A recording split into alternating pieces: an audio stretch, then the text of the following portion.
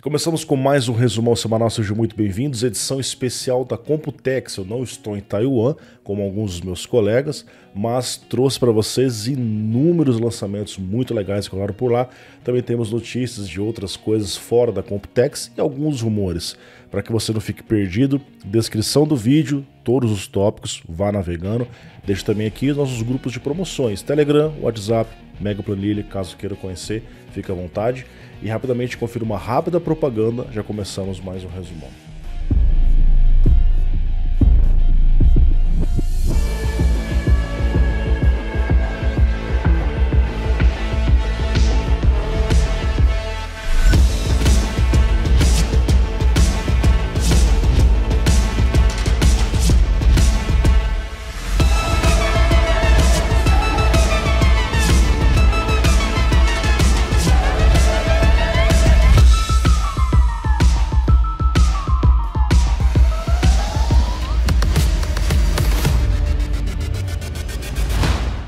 Pessoal, depois daquelas placas-mãe que foram anunciadas com os conectores na parte de trás, ou seja, você esconde todos os cabos da parte da frente. Observe aqui é, essa, essa placa, né? Ela não tem um conector de 24 pinos, de 8 pinos, na verdade ela tem, mas na parte de trás.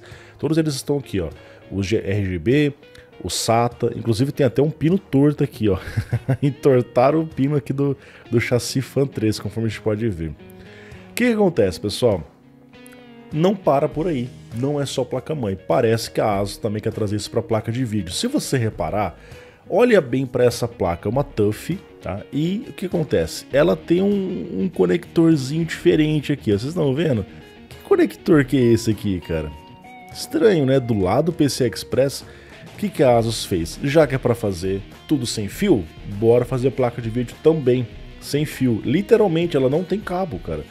Aqui você está vendo uma 4070 da Asus, aonde ela tem um conector extra aqui, ó. É diferente esse conector, né? Nunca tinha visto isso, ó, do lado do PC Express.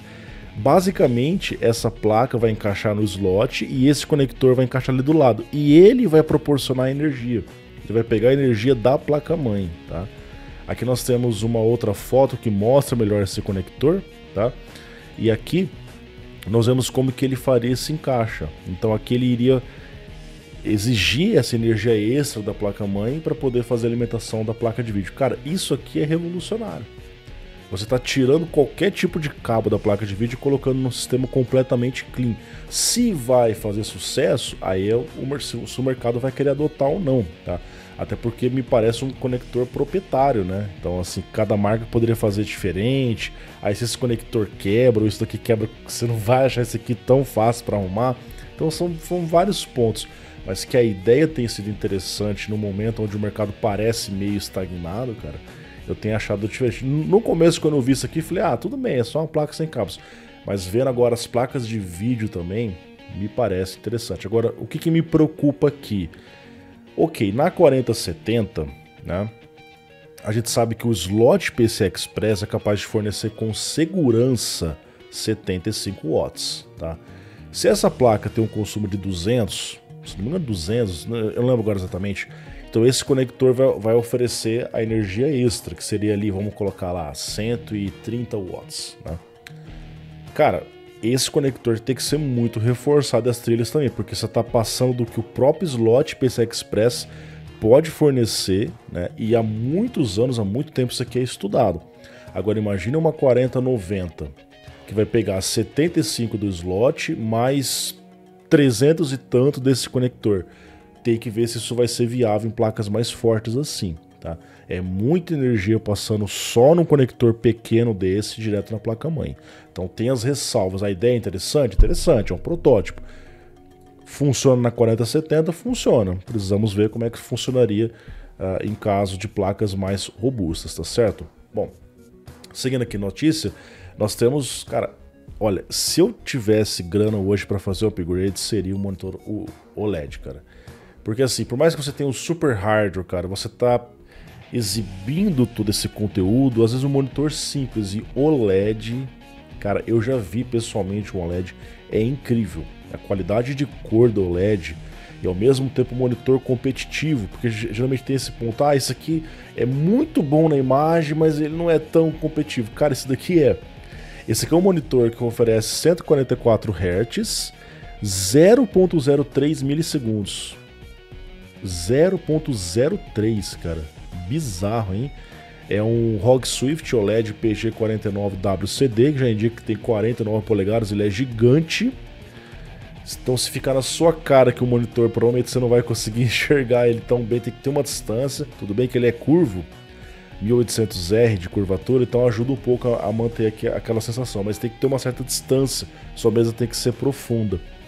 E cara, ele é um monitor de 5120 por 1440. Oferece várias tecnologias e, cara, a, ele, ele é lindo, cara. Olha isso daqui. Eu confesso para você que eu fiquei assim muito feliz de ver um monitor desse, cara, mas possivelmente vai custar um rim, hein?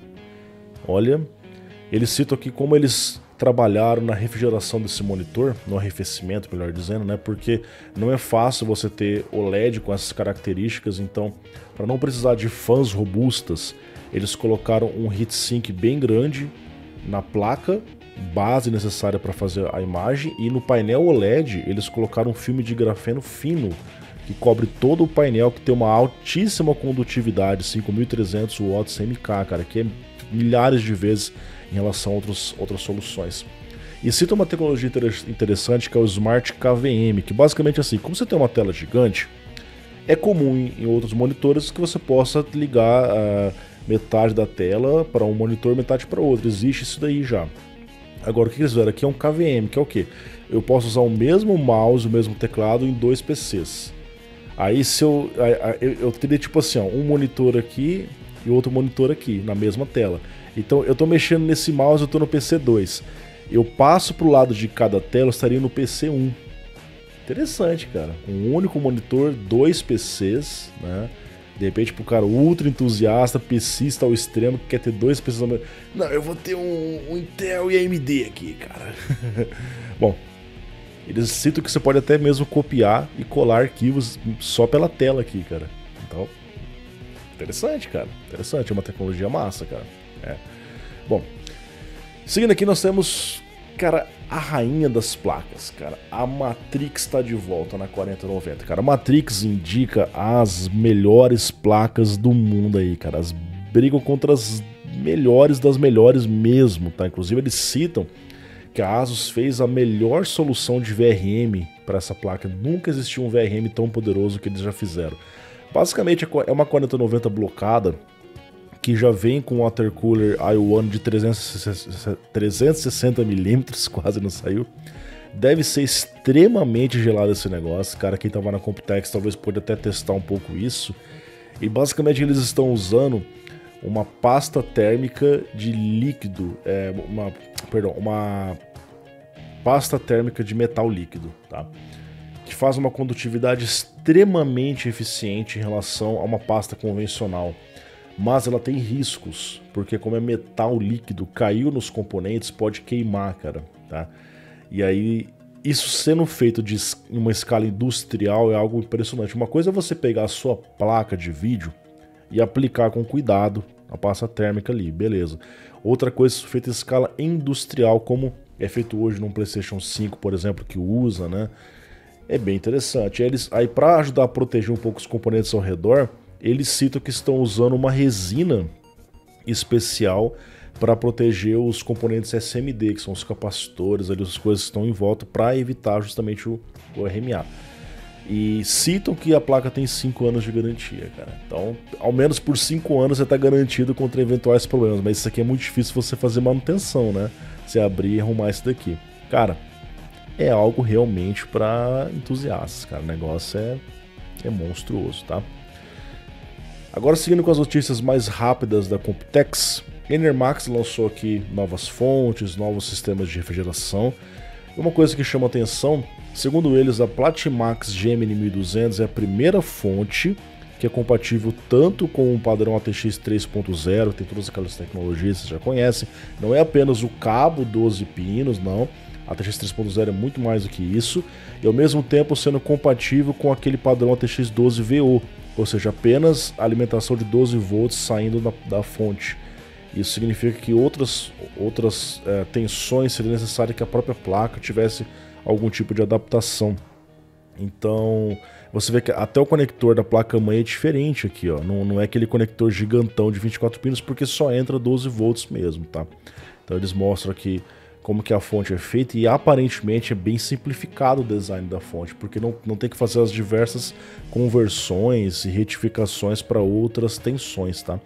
Aqui você vê a parte de trás da fonte, ó, ela tem ali as conexões tradicionais, né? E até tem essas outras conexões, seria para os periféricos, aparentemente só de 12 volts, pelo que eu entendi na notícia, tá? Não sei como é que funcionaria as saídas desses componentes aqui, tá certo? Bom, aqui nós temos a Montec também, que é uma marca que acaba tendo mais participação aqui no mercado, lançando tanto as fontes ATX 3.0 quanto novos gabinetes. Nós vemos aqui as fontes, né? oferecendo esse novo padrão.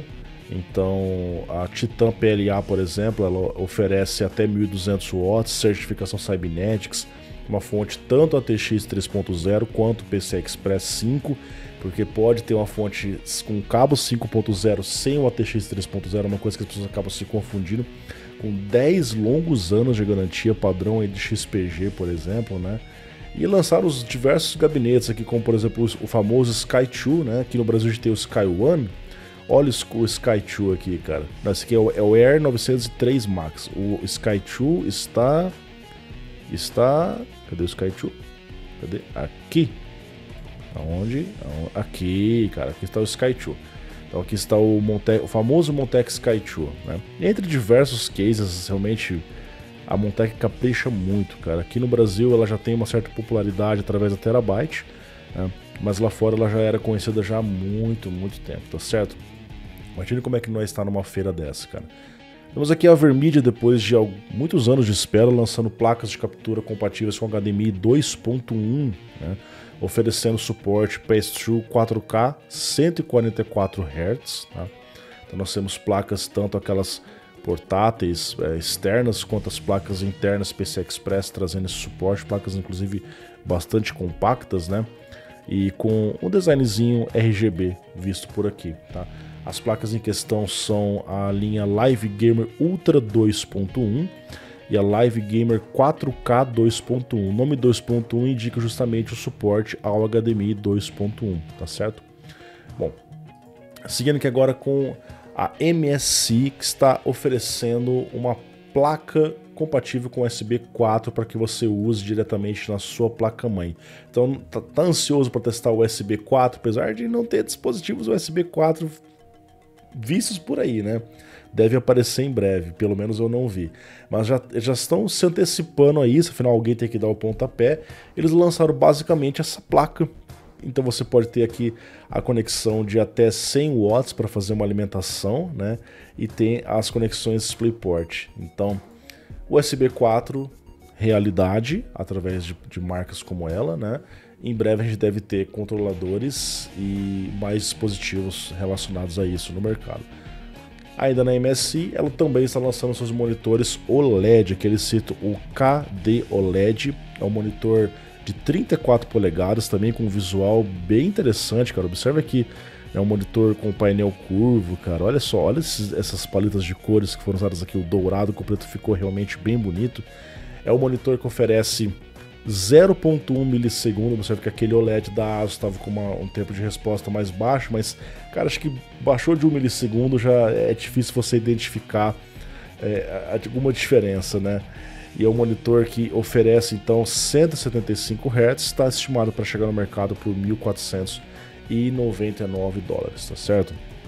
Ainda na MSI, eles fizeram os testes e demonstraram os seus SSDs, né? Aonde você pode alcançar até 14.520 em uma única unidade, o Spatium M570 Pro e até 12.400 de gravação nele. E aqui eles mostram como que é um monstro desse... Eu já tinha mostrado no último resumo esse Spatium, cara. Basicamente ele se eleva na placa-mãe e tem uma fan lateral aqui, ó. Fica gigantesco. E aí eles lançaram também uma espécie de placa adaptadora, né, onde você tem dois SSDs com dois dissipadores. Se, Se já, já era grande o suficiente, imagina você ter uma placa PC Express, inclusive com alimentação extra, e dois deles.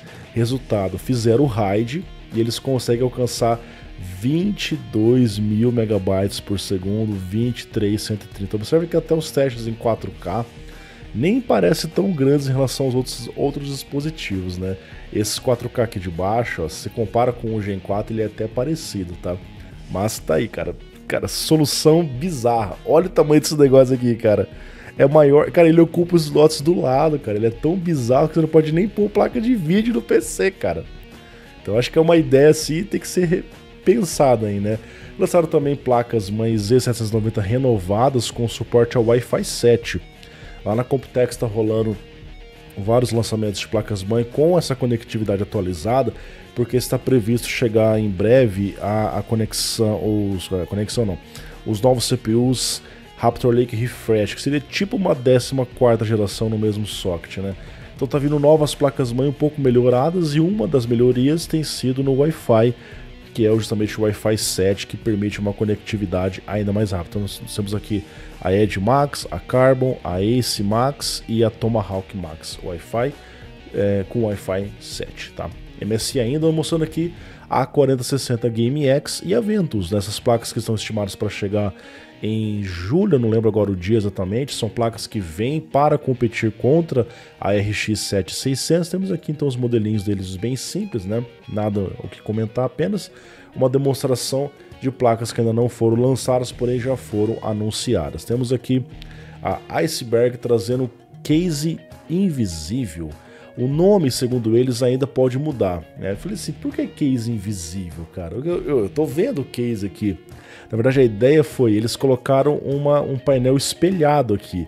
Então o invisível é, eu não enxergo a parte de dentro do computador. e aí, como é um espelho, dependendo do ambiente que ele está e do ângulo que você coloca, pelo que eu entendi, né? Ele fica quase invisível, porque ele vai estar refletindo o outro lado da parede, por exemplo, coisas do tipo, né?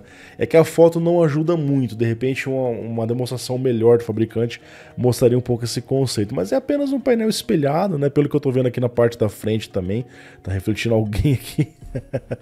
mas também tem cases convencionais com frente mesh, normal, como inclusive a lateral aqui também mexe para melhor airflow.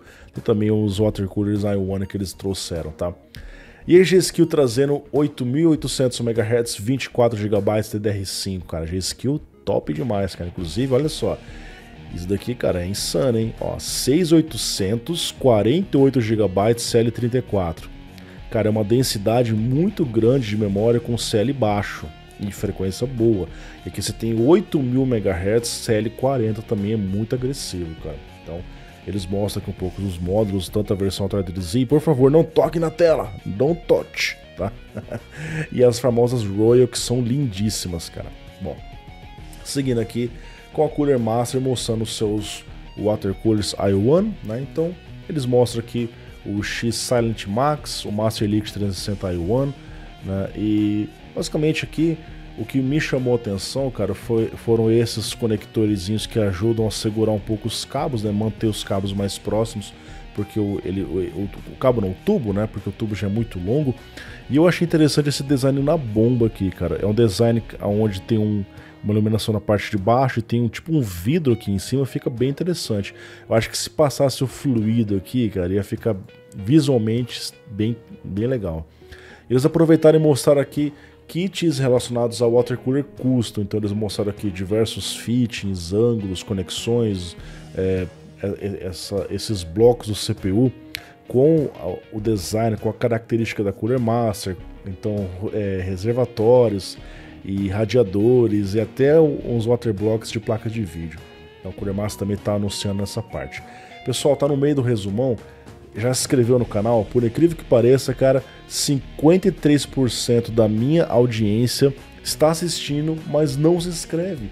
Faça isso agora, rapidinho. Se inscreva para receber as notificações e aproveita e clica no sininho, tá certo? Continuando aqui, pessoal, nós temos a Realtek oferecendo agora um controlador, uma placa base USB 4. Então aqui nós temos essa plaquinha que tem a conexão DisplayPort, conexão HDMI, as conexões necessárias para fazer o USB 4 funcionar, aonde pode, pode ter até 40 gigabits por segundo uma única porta, tá? E quatro downstream ports. Então, por hora nós temos os fabricantes tentando trazer o padrão USB 4 para o mercado, né? Surgem controladoras, surgem placas com suporte a essa possibilidade, como esta aqui, uma placa base para mostrar, para fazer demonstração. Por hora nós não temos isso à vista para esse ano, talvez para 2024. Talvez com uma novidade dos Ryzen 8000 e da Intel 15 geração. É isso que eu imagino que deva acontecer. Também falaram um pouco sobre o Wi-Fi 7, então eles trouxeram aqui o, o seu controlador, o RTL89, enfim, esse nome que vocês estão vendo, tanto para no formato M2 2230 quanto no 1620 para oferecer o suporte ao Wi-Fi 7. Eles fizeram um teste mostrando suporte até 1750 e 1950 megabits por segundo, que é o dobro mais rápido em relação ao Wi-Fi 6, usando uma antena similar de 2 vezes 2. Claro que num teste muito curto, em longas distâncias, ficaria ruim. Esse controlador pode suportar até 2800 megabits por segundo quando conectado tanto na rede 5 quanto na rede de 6 GHz simultaneamente, tá? Então, mais uma novidade sendo apresentada por lá. Ainda na Realtek, o que, que eles estão fazendo? Eles estão lançando um controlador, um, um, um NIC, né, por assim dizer, em 5 gigabits por segundo. Normalmente, quando lançam de 2.5 ou de 5 gigabits, eles pegam uma versão cortada do de 10 gigabits e isso continua caro, porque o controlador de 10 gigabits é mais caro. Então eles estão lançando uma versão específica para 5 gigabits e é dito pela notícia que eles estão atualizando boa parte das placas mãe com esse novo conector tanto de 2.5 quanto de 5 gigabits, e ele é mais barato, ele custa 5 dólares apenas ou menos, enquanto que outras soluções parecidas custam de 20 a 30. Então isso pode baratear muito o acesso de rede local acima do padrão de 1 gigabit, tá? E trazer isso para o mercado, para o público em geral, nos próximos anos com mais facilidade. Vamos acompanhar isso daqui, tá? Temos aqui, pessoal, um case do mínimo diferenciado, cara. Basicamente é um Striacon que tem 15 quilos de metal e não tem fãs. Então a ideia aqui, as fotos têm uns reflexos, não dá para ver muito bem, mas eles pegam então a placa mãe, aqui é a placa de vídeo. Observa que existe aqui um, eles desmontam, montam um cooler, aquele chamado Direct Die que monta diretamente no die da GPU, no die do CPU trazem aqui através de uma refrigeração para esse gigantesco dissipador. Olha isso daqui, cara. A ideia é fazer uma refrigeração totalmente passiva, sem nenhum tipo de fã. Aí você me pergunta, qual que foi o hard utilizado aqui? Os caras cara, colocaram 3900K. Então já que é bom, vamos testar com o pior CPU que mais esquenta do mundo, 3900K. E a 4080 no Full Mark, cara. A 4080 ficou em 75 graus. 70, cara, ótimo. O Core 9, 100 graus. Mas ele também, 100 graus é normal para ele com qualquer cooler, né, cara? Imagina com um negócio que não tem nem fã. Então até aí não, não digo que é um problema, tá? Seguindo aqui com a Cougar. Cara, a Cougar tá preocupada com a temperatura das suas costas, hein? Olha o que, que os caras lançaram aqui. Você abre aqui, ah, tem uma cadeira, tem uma poltroninha aqui. O que, que é isso daqui, cara? É uma cadeira em mesh? Olha só isso daqui, cara. É uma cadeira em mesh com uma fã. Deve ter o que? Uns 20 centímetros essa fã. É uma fã nas suas costas, cara. Basicamente, eles trazem o ar de trás para refrigerar as suas costas. Olha, até que não achei a ideia ruim, não, cara. Uma ideia legal. Tem, uns, tem umas cadeiras que são bem quentes, né? E isso daqui pode ser interessante, cara. Já pensou? Você encostar e ficar tendo um ventinho nas suas costas, né? Diga aí nos comentários o que você achou dessa inovação da Cougar aqui, cara. Temos aqui a Patriot, faz muito tempo que eu não trago nenhum produto da Patriot aqui no canal, acho que a última vez foi 2016, se eu não me engano, cara. Trazendo o primeiro SSD Gen 5 DRAM-less, ou seja, sem DRAM cache para aceleração, especialmente performance aleatória. Eles trazem alguns SSDs esse aqui é o, o, o sem dissipador, traz uma versão também com o dissipador. Me preocupa essa versão sem o dissipador, né? Imagine que deva pegar fogo. Vocês estão vendo que os fabricantes estão fazendo com os SSDs aí, né? Mas enfim, então. Sem DRAM less talvez significa que ele seja mais barato. Precisamos ver no mercado na prática no Brasil. Eu ainda não vi nenhum Gen 5 sendo vendido por aqui. A Fra Fractal Design, cara, é uma marca fantástica também. Aqui no Brasil é muito raro de encontrar. E eles lançaram alguns gabinetes muito conceituais, cara. Eu achei isso aqui. Olha, olha isso aqui, é um Mini TX. A parte da frente, cara, parece uma. É, é de madeira, cara. É de madeira. É um negócio muito diferenciado para você colocar na sua estante. Esse, esse é, case parece aquele Mijonir que eu mostrei lá do, do meu amigo que tava vendendo esses dias, né? onde você tem um plug de alimentação fora da fonte. Eles, eles estendem o plug até onde você vai colocar a fonte de verdade. Então eu achei um case realmente bem interessante, cara, bem diferenciado, um protótipo, né, uma ideia, não é, é, é, é nicho. Isso aqui é nicho que algumas pessoas pegam aí para montar o seu SFF case, né, um case ultra compacto. Temos aqui a InnoGrit lançando o controlador PCI Express 5.0 para os futuros SSDs que vêm no mercado. Aqui nós temos a ficha técnica. Eles dizem que o controlador IG566 pode suportar velocidades de até 14 GB por segundo de leitura e 11 de gravação. NANDs do tipo SLC, que seria um sonho, NANDs SLC, MLC já muito raras, TLC as mais populares e QLC começam a ficar mais populares até 2400 megatransfers por segundo, tá? Então o mercado está se desenvolvendo em torno do 5.0. Agora vamos ver o preço que vai chegar isso aqui no, no, Brasil lá fora já tem a venda, tá? A Noctua, cara, a Noctua está lançando a sua nova geração do famoso NHD15 para competir contra novos coolers. Basicamente o que eles falam aqui é um novo redesign aonde eles estão tentando deixar o espaço em torno do socket é, menos é, problemático em relação àqueles dissipadores altos do VRM, que tem sido muito comuns, em relação aos dissipadores de NVMe, que tem vindo muito grandes por conta dos Gen 5, memória RAM gigantesca também. Então eles deram uma, um redesign para tentar melhorar o encaixe do cooler sem atrapalhar outras coisas ao redor. E a, a, as alertas estão mais densas, então você tem aqui alertas com 20% mais área de contato e isso vai ajudar, tá? Em relação à versão anterior. Agora, ao invés dos 6 hit pipes, são 8 hit pipes, tá? Então o negócio está vindo realmente muito forte, tá? E as fãs também estão mais rápidas, mais, mais poderosas em relação às fãs da geração anterior, mantendo aquela cara característica muito marcante da Nocto, que é o extremo silêncio, tá certo? Lion Lee, cara, putz, marca fantástica, muito difícil ver aqui no Brasil também. Lançaram diversos watercoolers i1, cara, muito bonitos. Particularmente eu gostei mais dessa versão aqui, ó, quadradona, com display. Tem, se não me engano, 2 GB de armazenamento para você colocar um arquivo MP4, um negócio bem diferenciado ali. É, têm a, a, como se fosse um fitting de ângulo que você pode ficar virando mais fácil. Geralmente você consegue ajustar a direção da mangueira só na bomba e aqui você está ajustando com uma facilidade também no radiador. São vários pontos assim é, para ser é, ser ditos e pelo que a gente viu aqui na notícia tem aquele design das fãs que se encaixam uma na outra sem que você tenha que ficar com vários cabos. Você vê que os cabos se resumem a apenas um único, já que uma fã está conectada na outra. Várias marcas têm feito coisas assim. Aqui nós temos a Lion lançando o 011 e outros cases também, aonde você pode montar em configurações reversas, né, de cabeça para baixo, como a gente já viu setups dessa forma. Então, é, aqui você pode ter uma imensa variação de como o gabinete vai ser feito e, cara, cases da Lion são realmente fantásticos e muito difíceis de serem vistos por aqui. Que você vê aquele case estilo quadrado, cubo que vem a fonte na parte de trás escondida do restante do sistema.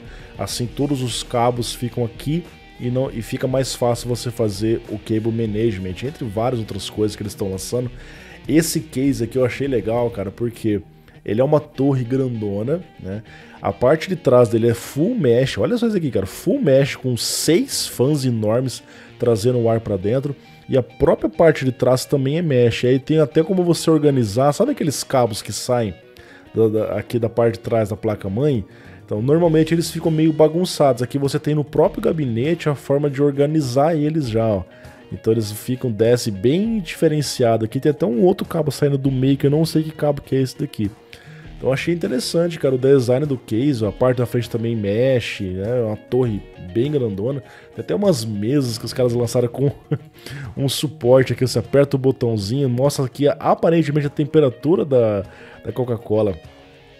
É cada inovação doida que os caras trazem por lá, cara. Isso é, isso é Computex, cara. Isso é Computex, esse é o resumão para vocês. Aqui nós temos a Zoc lançando, assim como a gente viu outras marcas, lançando um refresh das suas placas-mãe Z790. Então tem, tem várias placas, algumas com VRM melhor, alguns com design um pouco diferenciado, mas essencialmente o Wi-Fi 7 tem sido a principal novidade aqui. Então você vê placas aqui como essa Riptide com Wi-Fi 7 para trazer um refresh em relação às atuais com nova conectividade. Inclusive falam de placas-mãe a B650E Taish Elite com um VRM comparável ao nível de uma X670, tá? Então, um novo redesign, normalmente focado em conectividade mais rápida, Wi-Fi 7 e conectividade de, de rede 5 gigabits, ao invés de 2.5 que estava sendo apresentado até então. Nós temos aqui a Deepcool lançando o Mammoth L820, cara. Olha o tamanho, assim, esse número não faz muito sentido, não, não é 820, mas é um radiador gigantesco com três fãs de 140 milímetros, cara. Cara, o que eu acho mais bonito é essa esse bloco. Olha isso daqui que coisa linda, cara, que a Deep Cool fez. Tem uns quadrados aqui com fundo efeito, aqueles fundo infinito. Esses quadradinhos aqui, cara, ficou muito bonita essa bomba. Tem até mais pra frente aqui a gente vai ver outros water coolers dele assim. Eles lançaram esse case aqui, o Morpheus Dual Chamber. Qual que é a ideia do Morpheus? Você pode montar na forma convencional, seu PC dessa forma, mas você também pode desmontar ele, trazer ele mais para frente. Olha como é que ele é por dentro, ele é todo modular o negócio, cara. Então eu posso trazer ele, tá vendo? Um pouco mais para baixo e um pouco mais para frente. Então deixa um espaço maior para você colocar aqueles radiadores mais robustos, especialmente um water cooler custom. Quando você vê essa foto, você entende melhor, tá vendo? Aqui é a forma convencional, ou eu posso trazer ele mais para frente e deixar aqui esse espaço livre, enfim, para você customizar o seu case. Ele, ele é desmontável, cara. Achei bem interessante essa ideia do Morpheus, que eles mostram quais são as possibilidades com ele. Nós temos aqui os air coolers que começam a ficar parecido com os Noctem. Daqui a pouco tá ficando marronzinho igual, cara. E tem uma característica muito chamativa nos air coolers da Deepcool recentes, que é esse display na parte de cima, tá mostrando agora a temperatura do processador, cara. Isso era mais comum de ser visto em water coolers, e agora mesmo os air coolers estão vindo com esse design, tá? Então todos eles estão aparecendo como vocês estão vendo aqui, e esse é o principal chamativo do Assassin's uh, eh, 6 ou a N600 e o H Series, tá certo? Temos aqui também a Gigabyte trazendo a Z790 Ouros Extreme é, X, uh, que seria Extreme 10, né, digamos assim, aonde eles trazem uma mega de um display aqui em cima do dissipador do VRM, cara. Aí começa a pensar, dissipador do VRM é feito para dissipar calor, mas tem um display que também esquenta. Espero que esse display não esquente muito precisaria ser feito um, um review. Sei que a placa é monstruosa, cara. A placa tem quatro slots M2, né? Enfim, tecnologia dela é muito, muito chamativa. Deixa eu tirar as notificações aqui, senão fica aparecendo no meio do resumão, né? É, enfim. Galera, e se vocês estão achando aqueles dissipadores dos SSDs Gen 5 gigantes, que tal a Team Group que lançou um Water Cooler i1 120 para ele. Isso aqui é o dissipador junto com o SSD que está na parte de baixo. Você pode ver pela foto aqui, ó, olha aqui o SSD. Mas, cara, você tá levando um radiador e uma fan 120. Ou seja, basicamente é um water cooler para o seu SSD. Então você tem ali, vamos supor, o water cooler do CPU, às vezes o water cooler da placa de vídeo também, agora o SSD também está precisando de um water cooler porque está ficando extremamente quente. Aí começa a pensar, será que vai evoluir para um Gen 6, por exemplo? Porque olha como, como é quente o Gen 5. Então antes você tinha os SATAs, o M2 falou assim, não, agora ele é mais compacto, o M2, então é uma vantagem, ele é mais rápido, mais compacto. Agora ele tá ficando mais rápido e deixando de ser compacto. Olha isso daqui, cara. ele não tá ficando mais compacto que um SATA. Muito pelo contrário, você tem mais mangueira e mais fã e mais barulho, inclusive, no seu sistema, né? Então vamos acompanhar para ver o que, que vai rolar aí para frente, tá? Thermaltake lançando só... Na verdade é que essas memórias elas foram anunciadas na CES. Eles estão demonstrando aqui. Essa é, XGD5 já tinha aparecido, né? Inclusive são as minhas memórias, tá? As que eu uso aqui. Mas o que eu vi de novidade foi essa, essa linha Carbon aqui, né? Elas são aquelas memórias que tem aquela textura de fibra de carbono, bem assim, cara, eu achei feias essas daqui, cara. De repente, para um case mod específico pode fazer sentido, mas eu não, não gostei muito desse design que eles lançaram aqui. A, a versão branca, essa versão preta e prata aqui, elas são mais bonitinhas. Também lançaram as suas fontes, a TX 3.0 já tinha, né, um, são novos modelos. Você tem aqui esse modelo na cor prata, é, preto, na verdade, que é a TF3550 e essa aqui que é a GF A3 versão branca, tá certo? Bom, temos aqui também eles lançando as fontes SFX, são fontes muito compactas para cases mini TX. Elas acabam sendo mais caras que as fontes convencionais, às vezes, né? Por conta de você ter muita tecnologia, um espaço muito diminuto ao mesmo tempo que você tem uma grande potência, cara. Fontes SFX de 1000 watts, cara, é realmente bem interessante. E compatíveis com a TX 3.0 e PCI 5.0. Então você pode ter um case mini TX com todas as tecnologias que as fontes têm hoje em dia. Temos aqui a, a casa lançando o Gecko Turbo, que é basicamente uma fan blower com um cooler para o seu SSD. Então você vê que eles criaram um SSD e junto criou um problema. Porque você tem uma temperatura absurda ali para manter aquela performance, e aí surgem coisas como essa daqui. Eu entrei na página do fabricante e esse Gecko, ele tem aqui 3000 RPM, 29 decibéis. Assim, não é tão barulhento, cara, mas vai acrescentar mais barulho no seu PC só para você ter alguns megabytes por segundo a mais em relação ao Gen 4, né? Para um usuário comum, cara, isso aqui realmente não faz muito sentido. Talvez para servidores, workstations pode ser que faça, tá? Aqui nós temos a PNY mostrando outro dissipador. Você vê que a moda agora é essa, com duas fãs, né? Ó, oh, dissipador dual fan, hein? dissipador dual fan, cara. Inclusive com RGBzinho aqui, hein? Será? Ó, mesma coisa, a ideia é dissipar calor, vamos colocar um LEDzinho que também esquenta junto no dissipador. Mas até que ficou bonitinho, cara. Aqui você vê mais imagens dele e tem até um software de controle do dissipador, cara. Mais um programinha para vocês acho que eu tô, tô ficando um velho chato, né? Só fico reclamando das coisas, né, cara? Corsair lançando a Dominator Titanium DDR5 com design DHX Fanless, que eles explicam, que basicamente é o que? Eu, eu, tenho, eu tenho as minhas memórias, né? E aqui eu posso encaixar uma espécie de cooler com alguns parafusinhos, esse cooler ativo que eles citam. Na verdade seria um dissipador extra, né? Onde eu simplesmente encaixo por cima e tenho essa conexão uh, me melhor dissipada nas DDR5. Então, uma ideia, um conceito que eles resolveram trazer ali.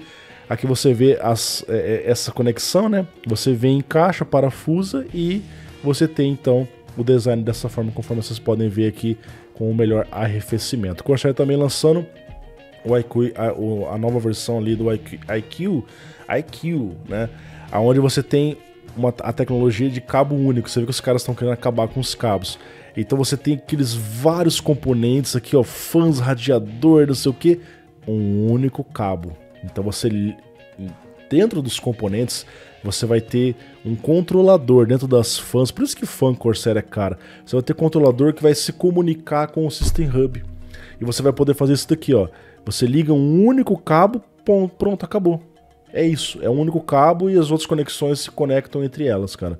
Achei no mínimo interessante. A ideia é acabar com os cabos, conforme a gente tem visto no mercado. E a Data que lançou uma fonte de 1600 watts com quatro cabos ATX 12 volts lá, né? 12 mais 4 pinos, aliás. E fizeram um teste ligando quatro RTX 4090, cara, mostrando que a fonte deles realmente a data muito forte, né? 1600 watts, suficiente para ligar 4 4090 ao mesmo tempo. Você imagina isso aqui na mineração, hein? É que chegou um pouco tarde, mas isso aqui iria arrepiar a mineração, com essas fontes super potentes com poucos cabos, hein? Temos aqui o Wismax também, lançando os cases, cara, bem diferenciados. Olha só esses gabinetes, cara. Tá vendo que o negócio é, é bem legal, cara. A, a, essa, essa lateral deles aqui, ó, é, aparentemente traz um pouco de vento pra parte de dentro. Deve ter até umas fãs aqui. E esse case aqui, cara, parece um móvel da, da casa, parece um banco. bem, ó, pezinho de madeira. Cara, tá parecendo um Xbox. é um case estilo Xbox. Até chama de woofer, parece um subwoofer mesmo, ó. Os nomes que os caras colocam aqui, ó. Esse aqui é o estéreo, hein? Olha lá, ó, EM2 estéreo. é uns cases bem, bem diferentes. Bom, passando um pouquinho a parte da Computex, o resumão tá ficando gigante, né, pessoal? A Nvidia chegou à marca de 1 trilhão de market cap, né? E graças à dominância que ela tem tanto em placa de vídeo, agora na crescente popularidade de inteligência artificial, aonde a Nvidia fala que esse mercado vai potencialmente ultrapassar o próprio mercado gamer dela, tá? Isso porque é, tá crescendo muito e eles também utilizam placa de vídeo para isso. E a Nvidia, a maior fornecedora, só tem a ganhar com tudo isso. Tá? Eles mostram que o valor das ações deles, que está subindo 23%, talvez motivado por esse market cap gigantesco, afinal se cresce esse market cap, consequentemente a ação também tende a crescer junto, tá? Galera, Ryzen 5000 caindo de novo, o 760X, tá? Cara, se tá caindo, você sabe por que, que tá caindo, porque a, a demanda por eles ainda é muito baixa, especialmente por conta de placa-mãe. Você vê aqui nas promoções da Newegg, o 760X aparecendo por 209 dólares, cara. Então, redução de 31 dólares. E na China, tá aparecendo por 183 dólares, cara. É uma queda tão grande que ele chega a ficar até mais barato que o próprio 7600. Tá? Então, assim, coisas desse tipo são muito comuns, todo santo resumão tem por aqui. E a MSI, que teve uma ideia interessante para evitar que você tenha aqueles problemas dos cabos derretendo, que foi descoberto depois que esses cabos 12 mais 4 estavam derretendo porque eles estavam mal encaixados. O que, que a MSI fez? Cara, solução simples: conector de plástico. Por que, Lucas? Olha só. É um conector de plástico pintado de amarelo. Quando você encaixa, se você vê o amarelinho, olha lá, ó, você vê que tem alguma coisa errada. É visível que não está bem encaixado. Quando o conector é todo preto, você não vê que está mal encaixado. Agora, quando tem uma cor diferente, você vê. Solução simples, cara. Isso daqui foi demonstrado também na Computex, entre outras várias coisas. Temos aqui a, a Data. A Data ela lançou um kit de memória 6400 DR5 e está informando que suporta a 14 geração Intel. 14 geração Intel que não existe ainda, pois é, eles estão falando que já suporta e aparentemente em frequência 6400 com 1.1 volt, cara. Então pode ser que, que o novo padrão 14 geração seja 6400 1.1. Cara, seria interessante, hein? Vamos acompanhar aí para ver. Galera, aqui nós temos um vídeo feito pelo Casual Gamers em parceria com o Paulo Gomes e o Burt, né? Cara, são os brasileiros arrepiando lá fora. Essa aqui é uma 3070 que os, os caras fizeram uma, um switch. Um switch para alternar entre 8 e 16 GB. Olha que massa, cara. Então você alterna a memória que você quiser e fizeram diversos testes. O Casual Games, inclusive, gravou esse vídeo em inglês para alcançar mais público. Ele mostra aqui no The Last of Us agora. Olha que interessante, cara. Em 8, a, a versão de 8 GB com os gráficos no Ultra 1040p, ela faz aqui uma média interessante, 50. Mas 1% low começa a ficar ruim, porque dá, dá travadinhas. Enquanto que a placa com 16 GB é muito mais estável, além de dar mais média também. E a mesma coisa acontece em Resident Evil 4, o remake, 1040p. Então você vê que mais VRAM ajuda. Se essa placa tivesse mais, com certeza ela seria mais estável. Aqui nós temos o vídeo completo do Casual Gamers, tá certo? E aqui você tem um vídeo que o Tech Lab divulgou aqui no Brasil que também está repercutindo muito lá fora, aonde ele mostrou lá na China como é fácil você ter a sua própria placa de vídeo, você pode colocar a marca que você quiser. Eu falo muito isso no AliExpress, aparece marca todos os dias uma marca nova de placa de vídeo. E o, o ponto alto da notícia é uma 3070 de 16 GB. Essa placa não existe oficialmente, mas os caras estão vendendo ela, cara. Você pode ter ela se você quiser, basta você comprar e remarcar ali. Então essa placa é uma adaptação, pode ser que exista de verdade ali em algum lugar perdido no AliExpress ou quem sabe alguma loja aqui no Brasil. E a BioStar está integrando a lista das marcas que fazem placas de vídeo também para Intel. Então agora você tem BioStar fazendo placas para Intel Arc. Aqui nós temos as fotos dessa placa, até mostrar para vocês algumas fotos, né? Plaquinha realmente bem simples, aqui é aquela A380, né? É, é, a mais, mais simples. Então nós temos a BioStar, Gigabyte, MSI Acer fazendo para as três marcas e outras marcas Arc, Acer, ASRock, Matrox, Gunir, Sparkle. São várias marcas já fazendo placas para Intel, esperamos mais concorrência nesse setor. Aqui nós temos uma 4070 da PNY mostrada na Computex Blower. A 4070 tem um consumo de energia que não é tão alto, então assim, ela deve ficar quente, deve. Aonde eu entendo que isso aqui faz sentido? Em cases mini TX, onde você tem que tirar o calor a qualquer custo dali, e o blower ele é todo fechado, então o calor vai sair só por um único lugar, só pela saída de, de calor da parte de trás, que é essa daqui, ó. É a única parte aberta. Então você vai tirar todo o calor do seu mini TX e a, a, inclusive essa própria fan ajuda a tirar o próprio calor quente do ambiente porque ela puxa para ela e tira, né? Como a, essa placa não, não é tão quente assim, esse, esse, essa GPU não é tão quente, pode ser que faça sentido para esses casos específicos assim. Ou para em clusters, como eles mesmos falam aqui, tá? Mas para uso convencional não recomendo placas assim para vocês. Nós temos aqui a Gigabyte também, cara, aparentemente está acontecendo. Mesmo a placa B660, está aparecendo uma nova BIOS Alpha que diz que tem um, terá o suporte para uma nova geração Intel. Possivelmente a 14, que é o refresh, porque é o mesmo socket. Então você vê que está rolando, talvez esse ano, nos próximos meses, vamos saber do famoso Raptor Lake Refresh. E é bom saber que seria uma terceira geração no mesmo socket. Isso é histórico, a Intel não faz isso. A Intel traz duas gerações e olhe lá. Tem placas que eles só suportam uma geração, como eu já falei para vocês no passado, tá?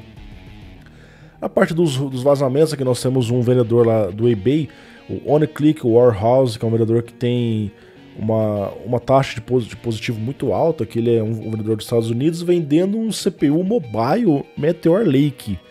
Nem foi lançado com seis núcleos mais 8, né? Então, assim, 6 performance, 8 eficiência.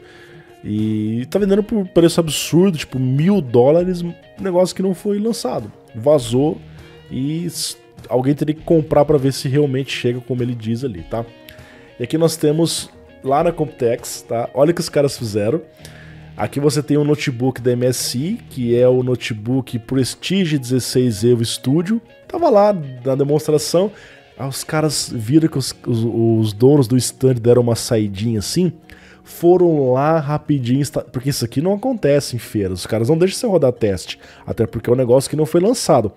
Os caras baixaram o Cinebench, baixaram o HW Info, eles devem ter tido um pendrive com isso, cara. Rodaram rapidinho enquanto os caras não estavam vendo para mostrar o resultado. Na verdade, a pontuação nem importa muito, porque isso aqui é um negócio engine sample, né? Uma, uma versão beta mas mostraram que existe um CPU Intel não anunciado nesses novos notebooks. Aqui é chamado de Intel 000 porque não tem BIOS, não tem nada para ele ainda, mas se trata de um notebook 14 geração ou 15 Meteor Lake, porque às vezes a 14 Meteor Lake vai ser assim para notebooks, 14 refresh para desktops, precisamos confirmar. Pessoal, resumão gigante, cara, gigante, mas é, é isso, é Computex uma feira de uma semana e um dia. Espero que tenham gostado. Um grande abraço. Fica até, fico por aqui e semana que vem mais vídeos. Tchau.